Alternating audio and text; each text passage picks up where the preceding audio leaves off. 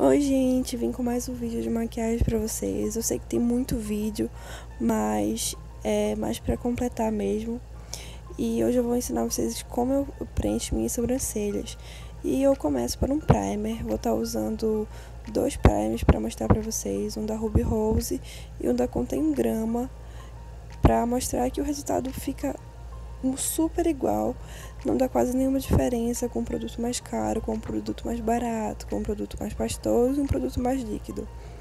Apesar né, do resultado ficar bem parecido, eu gosto mais do pastoso, que no caso da contém um grama, que eu acho que fica um aspecto mais bonito, mais natural.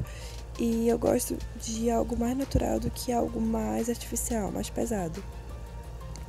E eu vou usar essa paleta da Belly Angel e ela tem esse tom pretinho e esse, esse tom marrom. E eu vou misturar os dois porque meu cabelo é muito preto. Então, se eu usar uma sombra quente, vai ficar horrível porque meu tom de pele, meu fundo de tom de pele é neutro e não combina nem um pouco com a sombra com fundo quente. Então, eu tenho que sim que usar um preto e misturar ele com um marrom mais acinzentado, mais puxado pro pro tom frio, né? E eu começo desenhando ela certinho por baixo, de uma forma que eu consiga pegar todos os fios e deixar eles bem certinhos no lugar.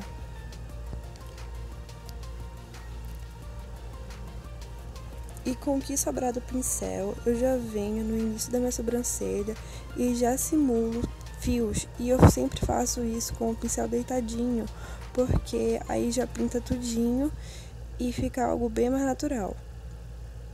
Eu uso esse pente também, que é para ele ajudar mais ainda a tirar o excesso e deixar mais bonita. Do outro lado é a mesma coisa, delimito embaixo é, de uma vez logo, não, vou, não demoro muito na sobrancelha porque eu já tenho prática. Mas se você não sabe fazer, vai fazendo aos poucos, que ao longo do tempo você vê que é rapidinho que consegue que você vai conseguir fazer essa sobrancelha. E lembrando sempre de pegar a sombra do meio e o que sobra no pincel passar no início, tá? Eu não gosto de deixar no início muito forte porque eu acho que fica muito pesado e eu e para mim que eu gosto de usar isso no dia a dia, eu prefiro usar desse jeito que eu mostro pra vocês. Agora eu venho com um corretivo pastoso e vou delimitar minha sobrancelha. Essa delimitação você precisa ter prática e muita paciência, muita calma, muita precisão, tá? Não é de primeira que consegue fazer certinho, inclusive eu que já faço muito tempo, acabei errando e vocês vão ver. Então tem que ter muito cuidado na hora de fazer essa parte. E você precisa usar, usar um pincel é, bem preciso, bem fininho, de cerdas sintéticas. Esse custou 3 reais, ele é da Real Love, e eu não troco ele por nenhum. E vocês vão ver que eu vou errar. E nesse erro já vou consertar muito facilmente. É só você passar a sombra por cima de onde você errou e voltar depois com um corretivo e delimitar é, na área correta, tá? Porque eu errei então, né? Olha aí, gente, tá vendo? Eu também tenho muita prática e acabei errando, então é normal errar. Volto com o corretivo, já delimito tudo, já delimito um pouquinho ali na frente, sem deixar nada muito marcado.